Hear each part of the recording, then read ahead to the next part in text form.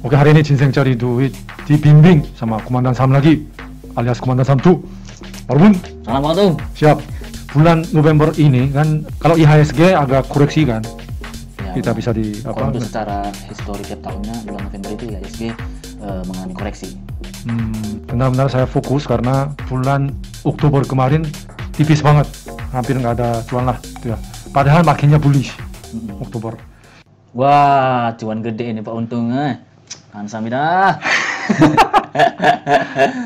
nah ini masih cupu nah untung minggu pertama masih merahnya kecil Mm-mm. nah, Ini Pak ya. nah SWOT sama Boba Coba. Boba mungkin kalian tahu lah itu ekstrim kemarin Mm-mm, benar benar. arah hunting diguyur Mm-mm. sama underwriter Victoria Sekuritas jadi cuan paling gede ini dari Bumi sama Ali Mm-mm. batubara sama sawit Ya. Nah, secara overall menurut Komandan Sam bagaimana ini win lossnya Wah, kalau ini sih Pak, saya nilai karena ini masih awal bulan 11, masih satu mingguan toh, bulan 11, ini sesuatu yang udah bagus sih Pak. Udah bisa menghasilkan net profit 13 juta. hmm, Udah bagus sih Pak. hmm, oke mungkin beberapa saham cuannya atas satu juta itu mungkin Hmm. eh, saya eh, minta nasihat atau bimbingan kepada komandan saham oke yang paling kecil itu dari saham bola bola itu kita bilangnya saham terkait kripto. Dari ini dari hari hari sebelumnya sih dari tanggal Hmm, berarti cuannya pas waktu arah hunting berarti. ya. Nah belinya kan ini jam 2 kan Hmm, tanggal 29 nah bola ini sebetulnya arah hunting benar, benar. nah Nah, jadi ini tanggal oh, tanggal 29 Hmm, ambil arah ini jam 2 sebelumnya tektokan juga tapi ya nggak nggak nggak ada cuan terus akhirnya ya ambil arah. Ketika dia mau arah sebetulnya agak kurang pede. Tapi waktu itu saya akui aja tim kita semua ambil. Jadi saya saya juga ikutan tapi nilainya kecil. Waktu itu saya cuma belasan juta maksudnya. Waktu itu komandan sama ik- ikut kan Kalau Bola. untuk saham bola kemarin saya ikut arah hunter di saham bola. Pertama kali arah, pertama Hmm, kali tanggal 29 Oktober Benar-benar all in. all in All in. Nah ini yang harus saya belajar dari komandan saham. Saya kayak penakut. Biasanya normal kalau arah hunting saya biasa 50 juta, tapi waktu itu saya cuma 15-an juta. Hmm. Padahal komandan saham ini duduk sebelah saya. tapi wah saya ini belum pede. Kenapa bisa all in bos? Waktu itu. Ya, yang pertama kita lihat broker sampelnya dulu pak. Hmm. Rata-rata CMG-nya nggak nggak jauh dari harga arah. Kemudian kita lihat volume, volume di bola itu seperti apa. Misalkan tanggal 29. Nah itu MG-nya kan harga average-nya kan 703 tuh. Ini kan harga average MG kan Hmm. 703. Hmm. Kalau kita lihat chartnya pada saat itu har- harga arahnya kan di 7 ra- berapa tuh? 710. Nah kan nggak jauh beda. Hmm. Beda. Jadi kita bisa langsung sikat. Oh. Waktu itu pakai margin juga? Di Sambola kayaknya nggak ada margin. Oh, nggak ada. Oh, tapi tadi kasih full in, ah, full all in. Oh. Nah, jadi untuk kita yang main R Hunter ini memang eh, ya ris- reward risikonya kita udah tahu kan risikonya bisa HRB, tapi rewardnya bisa base ordernya spike up, Hmm. bisa cuan belasan persen. Nah, jadi ini teman-teman jika masih memakai broker-broker yang masih lelet di jam open market, nah teman-teman bisa daftar di MK. Kenapa MK? Linknya nanti ada di bawah ini. Mantap. oh, waktu itu MK-nya nomor 3 juga ya. Ya, Waktu tanggal 29 kita ambil arah jam sekitar jam 2. hmm, Terus dia nggak ambrol. hmm, Eh, terus besok paginya gap up. gap up. Hmm. Nah, kita waktu itu jual jam 9 Ya, lewat jam 9 lewat 5 menitan gitu sih. Jadi ya Hmm. kurang terlalu ini sih kalau kita pakai broker retail-retail ya, ya kayak ya misalnya ya Mireda. ah kayak Mirai, Oh, iya. Ajaib, Hmm. Indo Premier itu pasti nge di jam-jam 9 lewat 2. Tapi kalau kita pakai broker kayak MG, MK, wah kita langsung jam 9.00 langsung bisa truk, langsung jualan. Jadi kita bisa cuan lebih maksimal. Nah, jadi untuk teman-teman yang ingin eh, daftar di MK, silakan klik link link bawah ini. Deponya sangat kecil banget 100%, 100 ribu rupiah. Hmm. Nah, coba kita lihat eh, pada tanggal satu itu MK jual jualan di, di harga berapa? Hmm. Nah, dia jualnya di 7 5 8. kok kecil banget. Oh, tapi dia volumenya cuman begini. Hmm, berarti belum jual deh, yo. Oh, belum jual dia hold malah. Hold malah. Dia kemarin tanggal 29 berapa dia? 29 coba coba. Ambilnya 30 ribu lot. Oh, dia beri Di harga 704. Oh, Kita anggaplah 705. Oke, sekarang kita ke tanggal 2 deh, tanggal 2. Coba. Oh, masih masih sale, ma- masih hold dia berarti masih hold. oh, jadi sampai tanggal eh, kemarin deh. MK masih pegang barang nggak? MK. Masih masih megang barang. Oh, jualnya cuma 16 ribu. Hmm. Nah, oh sale. Oh ya, jadi masih ada net Hmm. pay-nya 669. Ini pasti beda nih, karena ini ada MK lainnya dia, Hmm. enggak MK yang satu orang itu yang beli di, di arah kemarin. Hmm. Gitu. Waktu itu enggak sesuai harapan gap up-nya itu Hmm. naik gila-gilaan, enggak ada. Jadi kita waktu itu cuman tipis saja, bola 2,2 persen. Ya, benar, benar. Ah. Kita jual di, di sekitar sekitaran 2 sampai 4% di situ. Sebetulnya ini apa risk reward-nya kurang sih. Misalnya kita kan ambil arah kalau di Amro kan bi- bisa aja sampai ARB. ARB. Ya, benar. Tapi hari kemudian dapatnya cuma ini. Hmm. Sebetulnya ini arah hunting yang Gagal. Gagal. Gagal sih. Ah. Karena re- rewardnya terlalu Kecil. kecil dibandingkan risknya. ya Tapi ya, ya, ya itu namanya kita udah di awal main arah hunter, kita untuk besok harinya kita udah bisa mengukur risiko kita. Ya risikonya kita bakal kalah di dekat-dekat ARB ketika kita pakai broker-broker retail. Karena kita open market itu nggak bisa langsung jualan. hmm. Hmm. Hmm. Kemudian ya, Hmm. ah, kemudian bulan lagi, tapi tanggal 5 kemarin, Oke. hari Jumat tanggal 5. Nah, Hmm. saya belinya tanggal 4 sama tanggal 3 saya udah mulai lirik karena menurut saya saham-saham yang terkait dengan kripto atau NFT Hmm. saya temukan cuma ini satu. Mungkin kalau ada yang lain, Hmm. misalnya sudah uh, ada kaitan dengan kripto, tolong kasih tahu ya. Saya kan invest di kripto juga, Hmm. lagi all time high gitu, lagi hot. Jadi ya otomatis saya kira ini momentumnya masih masih hidup. Hmm. Jadi terus dia sudah mendekati MA 50. Hmm. Jadi ya saya coba ini sih, saya coba beli Spekulasi beli pak ya. spek- spekulasi, tapi untungnya hari kemarin naik. Naik ya. Tapi nggak maksimum karena trailing stop. Ya nggak apa-apa sih pak. Yang penting bagi teman-teman yang tidak bisa mantau market 24 apa selama jam market lebih baik ketika kita udah uh, floating profit kita pasang trailing stop. Hmm. Yang kayak bapak lakukan. Hmm. Bapak kan lagi di jalan toh. Hmm. Bapak pasang trailing stop ya udah berarti cuannya cuma segitu, rezekinya cuma segitu ya. Hmm. Kita syukuri. Oh siap. Saya sering kali, saya pernah bahas di video sebelumnya, selalu trailing stop saya itu harga low hari itu. Saya kan taruh trailing stop itu 730 ke portfolio saya kemarin karena udah udah hapus. Hmm. Di portfolio saya kemarin saya taruh 730 tapi selalu sentuh terus dia naik lagi. Wah, itu sering kali terjadi. Nah, Bapak pasang 730 itu kan angka bulat. Hmm. Biasanya di angka bulat itu pantulannya untuk rebound sebentar itu probabilitasnya begitu inilah Hmm. besar. Jadi sarannya Jangan di angka di angka bulat. misalnya Kan 735. sebenarnya kan Hmm. yang titik loss Bapak itu kan 730 itu kan sebelumnya kan ada dulu harga triggernya sebelum Bapak buang di 730 toh. Hmm. Nah, nah, harga trigger itu di di harga berapa?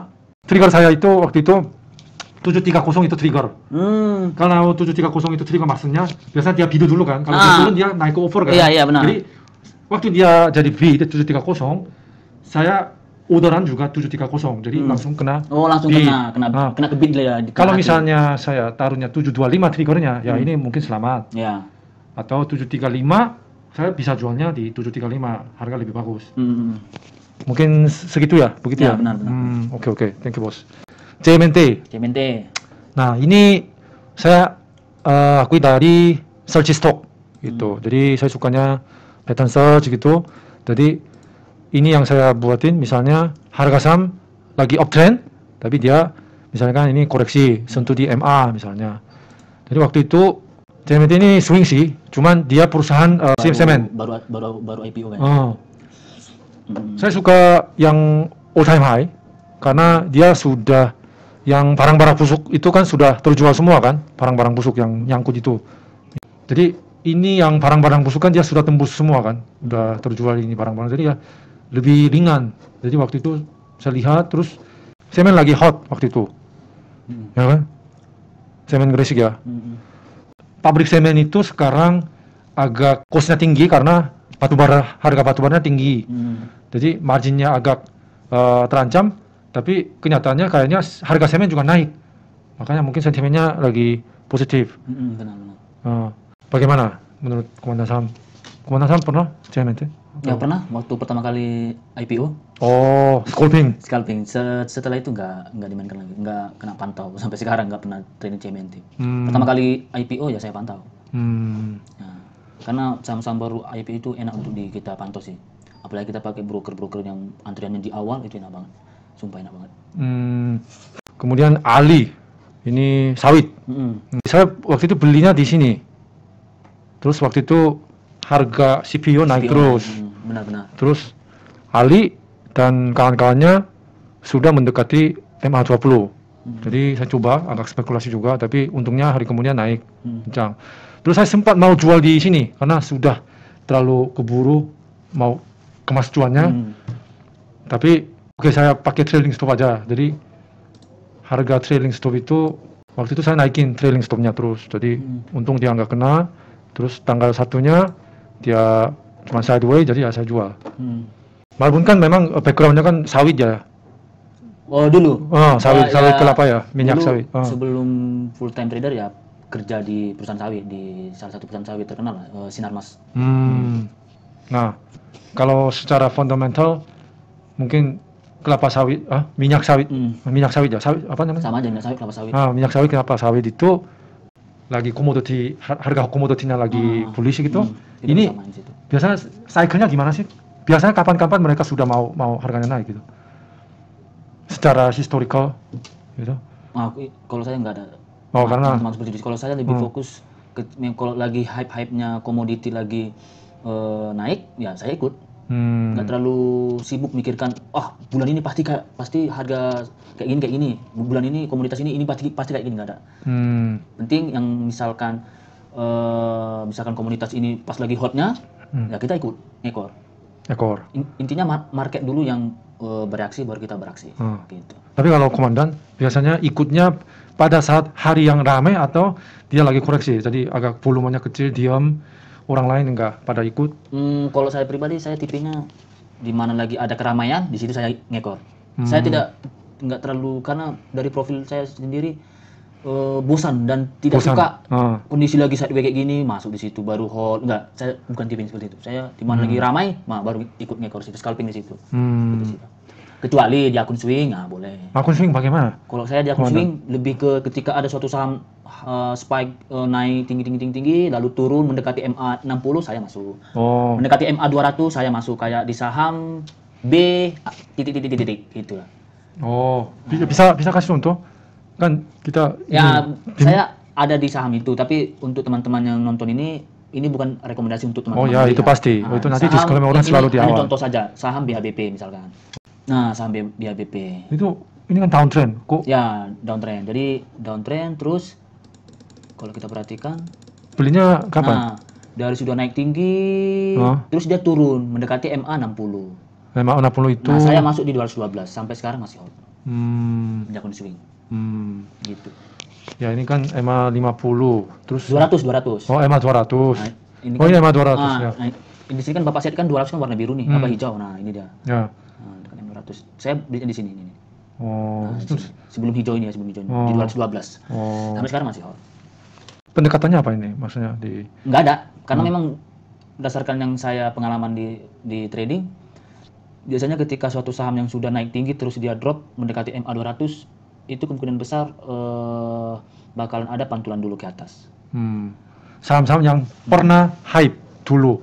Terus dia udah mantul Oh. Kadang mantul dari MA 60 MA 200 itu biasanya contoh eh, saham contoh aja saham coba saham film deh saham film nah, saham film nah ini hmm, yang udah naik tinggi cek, cek, cek, cek, cek, cek, Hmm. terus turun mendekati MA 20 hmm. naik lagi MA 60 bapak yang mana ya Oh, saya, oh beda beda ya pak bapak pakai 50 ya oh Hmm. kalau kalau saya pakai yang 6 60 Hmm. nah sama kayak ini tuh dia mendekati Hmm. MA 60 mantul Hmm. Oke, ini CZ 60 Hmm. yang ini yang biru yang Hmm. putus-putus ini. Jadi ini patokan komandan saham kemarin Iya. untuk swing. itu swing ya pak saya paling swingnya ya tiga hari lima Hmm. hari udah gitu aja tadi saya nggak saya eh, jarang sih swing itu dua minggu satu bulan ya cuma pernah kebanyakan sih tiga hari satu minggu doang Hmm. jika tidak tidak sesuai cut Hmm. Tapi untuk pilih-pilih saham untuk swing itu kriterianya apa sih? satu seperti yang saya sampaikan tadi ketika harga saham udah udah sempat naik tinggi Oh, terus pernah sempat tinggi, pernah sempat tinggi. benar Contoh lagi kita coba deh saham KF, KF coba KF. KF, contoh KF. Contoh saham KF. Kimia Farma ini dulu hype-nya karena vaksinnya Nah, gara vaksin. Dia di MA 20. 20 Oh. misalkan yang ini dia sempat naik tinggi Oh. Turun ke MA 20 naik lagi Waktu itu dibelinya di mana? ini KF Oh. ini Kemana- pertama kali Sam? pertama kali ini pertama kali ini hijau pas Oh. dia nyentuh MA 20 nya oh. Terus jualnya? jualnya pas hijau yang ini Oh. itu langsung saya jual Oh. Oh ya, jadi paling lama itu Oh. seminggu minggu. karena waktu itu dia sempat tinggi karena apa ya Pak Jokowi ya, Pak Jokowi bukan ini bukan bukan di masa Pak Jokowi kayaknya ini kayak di masa-masa disuntik. kalau di masa Pak, Pak Jokowi disuntik kan di sini Oh gitu ya. Oh itu Nah, yang ini paling masa pen- per- eh, ditemukannya obat vaksin kayaknya Oh. gitu Hmm, jadi misalkan Pak Jokowi disuntik vaksin itu itu puncak, terus Ya, udah itu- momentumnya sudah udah hilang terrealisasi, udah, jadi ah. jangan masuk dia sentuh EMA, Hmm. lupakan saja. tergantung tergantung tergantung Hmm. penting kita bisa masuk di MA 60 MA 200 kita tetap melihat situ, melihat situasi market juga. Bukan asal wih udah naik tinggi terus turun udah mendekati MA 60 nih. Oh jangan asal-asal masuk aja dekat eh, MA 60 kalau kita lihat ini ini kan MA 60 nya di drop terus ke bawah. Hmm. Iya, nah, jangan masuk. Ya maksudnya berarti setelah dikonfirmasikan. setelah ada kayak bukan kayak sih. Ah, intinya satu hari kemudiannya itu dia tidak ngebreak MA na- MA 60 Oh. itu. Ya sama kayak BABP tadi.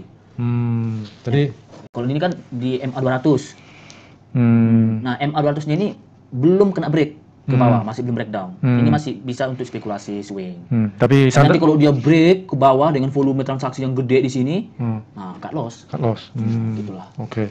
Simpel-simpel saja, Pak. Hmm.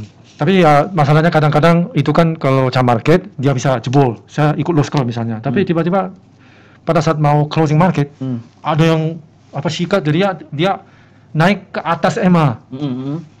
Ya kalau emang seperti itu ya kita disiplin dengan di awal cut loss. Hmm. Kalau emang lagi misalkan sore hari sore harinya itu naik, closingnya di atas MA 200 i- masuk lagi. Hmm. Oke. Sebenarnya untuk trading ya sep- seperti itu sih, skemanya seperti itu. Pokoknya prinsipnya itu disiplin kita. Disiplin, disiplin. Nah, jadi saya ini mau nanya ini sama Pak Untung ini. Oh. Apa ini eh, strategi Bapak kemarin kok bisa cuan di bumi nih? Sampai 4, 4 juta nih, Pak. Oh. Nah, coba Bapak jelaskan. Oke, dulu. oke. Kita sekalian, sekalian sharing ya, Pak ya. Hmm, siap. Bumi. Bumi. Nah, ini waktu call Pak ya, Sambara kemarin. Hmm. Wah, oke. dia. Saya masuknya mulai 72 Di tanggal 29. Hmm. Nah, berarti sebetulnya saya akum dari tanggal begini Hmm. beli se- sekitar harga 71 dan 72. Hmm, Nah, di sini ya. memang kita kan selalu setiap hari lihat yang ICE Newcastle Coal Iya, Price benar, itu kan. Nah, dunia. uh-uh. Nah, jadi sekitar di sini kemarin menurut saya ini masih masih tinggi sih walaupun dia koreksinya dari puncak ke bawah itu udah 50% Udah, lebih. Hmm. memang sentimen short termnya kan wah ini orang pada mulai agak takut karena Chinese government Hmm, benar benar. mereka kan sudah kontrol harga batu bara. Ya. Nah, tapi dengan ini eh time frame yang lama, time frame yang panjang, Hmm. ini kan masih atas all time high yang tahun 2019 kan. Hmm, benar benar. Heeh. jadi ya menurut saya eh, perusahaan batu bara memang saya akui bulan September saya eh, ketinggalan lah ini Ya, momentumnya. momentumnya Pak ya. Eh, terus saya lihat ini sudah koreksi cukup Udah cukup lumayan. nah, ya. cukup lumayan. Hmm. Tapi waktu itu sudah setiap hari ya, setiap hari turun tajamnya itu agak kejam sih Hmm. begini. Tapi harganya tetap sudah bertengkar di sini. Hmm, Jadi- mulai sideways gitu ya. Hmm, jadi wah ini market sentimennya mungkin eh, harga koreksi itu sudah direflect di harga saham. Hmm. Memang saya akui dari awal Hmm. itu batubara saya ketinggalan. Terus Hmm. eh, saya diskusi sama Pak Bekti juga karena eh, saya setujunya karena bumi itu banyak anti, Benar-benar. oh, Nanti sama saham bumi Pak ya. saham bumi banyak trauma. Hmm. Jadi masih banyak orang ogah. Jadi makanya ada eh, kesempatan mungkin daripada ITMG, Indi yang sudah tinggi-tinggi yang mahal-mahal. Ini kan masih eh, tahap menyelesaikan hutang Hmm. governance-nya. Jadi tapi saya lihat eh, kronologinya mereka sudah eh, komitmen untuk menyelesaikan hutang cicil-cicil. Terus laporan keuangannya ini kan lagging harga saham naik dulu, harga batu bara dulu, tapi karena secara jangka panjang pun harga batu bara bagus, jadi ya Hmm. perusahaan bisa apa kayak semacam turnaround atau Nonton orang. oh, berubah Nah, positif. Benar benar. Jadi sebetulnya itu apa ya semacam kayak investing approach sih. Hmm. Tapi saya eh, misalnya 5 tik naik, 4 tik naik, jual dulu besok karena masih saya lihat ini volatilitasnya. Volatilitas, volatilitas saham batu baranya Oh. sama harga coal dunianya. Oh. Oh, mantap Jadi mantap. saya beli lagi sih tapi masih cicil. Sekarang pe- pegang cuma 20 jutaan. Hmm, Oh, mantap pak. Berarti kemarin itu jualnya di sini pak ya, di sini ya? oh betul. Waktu harga 76. coal itu sampai puluhan persen lagi ya? Oh, 76 saya. Hmm, ribuan, oh, lumayan pak. Mantap, Oh. mantap, mantap, mantap. Beruntung sih. Wah, Oh. Samidah, 6 persen pak, hampir 7 persen. Ya itu syukurlah mungkin pertama Pak Bukti yang punya insight Hmm. terus oh saya dengar itu oh, wah ini boleh pelajari lagi gitu. Ya, Oh. Karena memang harga coal dunia kan udah sempat koreksi dalam terus karena ya, apa pun namanya ketika ada sesuatu yang koreksi dalam itu pasti akan ada pantulannya Hmm. pasti ada pantulannya Hmm. baik kripto baik saham baik apa pun itu di dunia trading pasti ada pantulannya Hmm. Gitu. Oke. Karena kebetulan uh, ada beberapa saham uh, beruntung dapat uh, cuan. Uh, ya, buat saya ini terima kasih pada marketnya. benar Uh, nah, terus cut loss cuman dikit. Biarin cuannya naik. Terus harus mencegah apa stopin uh, lossnya mendalam. benar benar Uh, itu sih saya, uh, hal yang saya belajar dari komandan saham.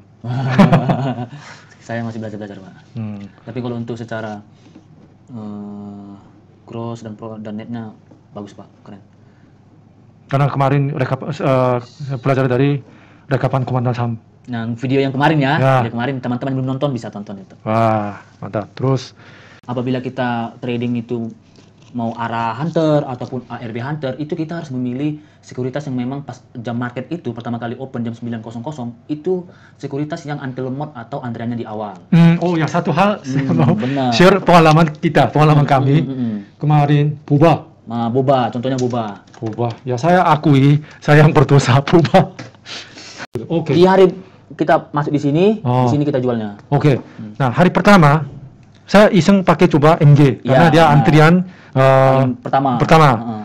terus hari besok hari kemudiannya kalau di ARB pun dia bisa keluar Pertama. pertama. Itu. Nah ini open price-nya kan 342. Ah, tahu siapa yang buat dapat itu? Itu adalah Pak Untung sendiri, pakai broker MG. Nah, bagi teman-teman yang mau seperti itu, dia ada broker lain yang bukan MG, deponya pun sangat kecil sekali, hanya 100 ribu rupiah, yaitu broker Equator Sekuritas, yaitu MK. Intinya teman-teman bisa nanti daftarkan eh, buat akun, linknya di bawah ini. Oh ya. Gitu. Bagi teman-teman yang ingin main arah hunter dan ARB hunter, gitu. Oh, fee-nya berapa sih kalau MG? Saya fee-nya 0,4. 0,4. Nah, kalau di MK itu fee teman-teman itu 0,3 persen. Terus gimana? yang one day trade. Tapi kalau kita nginapin main arah hunter itu fee-nya 0- 0,4. Hmm.